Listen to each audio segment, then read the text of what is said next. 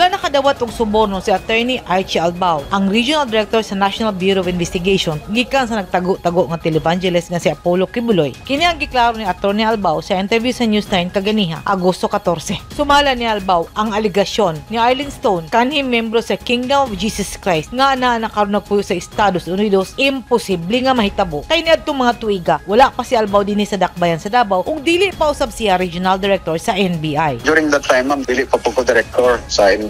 Ikaduha, di po na ko kaila si Pastor Kibuloy or any of his members, no? Wala pa po ko kasulod diya sa Kingdom of Jesus Christ not unless katong kuan not until nga nag-serve mig mga warrant of arrest. Na-assign lang ko the October 2022 as uh, director na si President BBM na ang uh, nag-appoint sa Quadri nga regional director. Kana uh, wala gyud dili na tinuod uh, even si Pastor Kibuloy di ko na ko kaila Nakabot na kang Bed Director Jaime Santiago ang aligasyon apan sa usa ka pahayag giklaro ni Santiago nga nagpabilin ang iyang pagsalig kang Director Albao. Ang aligasyon batok ng Director Albao migawas human giimplementar sa NBI 11 niya tumilabay si Manang search warrant batok ni Kibuloy ug upat pa niini kakauban. Apan migawas sila sa Kingdom nga walay nakita. Makaapekto ba sa kredibilidad sa NBI 11 ang aligasyon?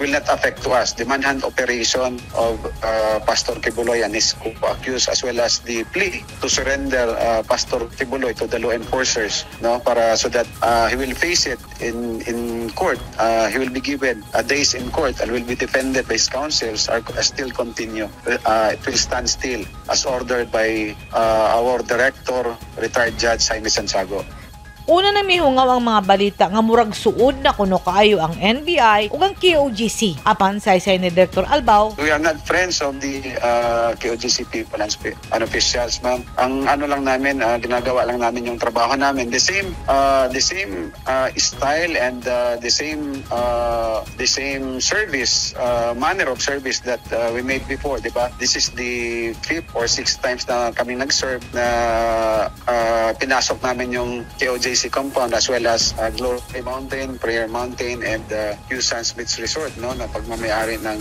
uh, KOGC. The same uh, uh, the same manner ma'am ang ginawa namin ng nakaraan, uh, very peaceful manner which we uh, as a result arrested uh, at least uh, five accused of Pastor Kibuloy. Giklaro ni Albao nga trabaho sa NBI ug uban pang tigpatuman sa balaod nga implementar ang mando sa korte nga pangitaon si Kibuloy ug ang upat panini kakauban. Sumala ni Albao, ang tanang trabaho lang sa NBI ug kini dili personalan. Edit Kaduay News 10 Philippines. Stay safe.